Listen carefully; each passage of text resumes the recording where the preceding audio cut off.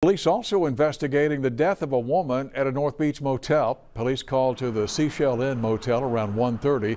The body of a woman in her 50s or 60s was found in one of the rooms there. The medical examiner now conducting an autopsy to determine the cause of her death. Two dogs that were also in the motel room were handed over to animal control.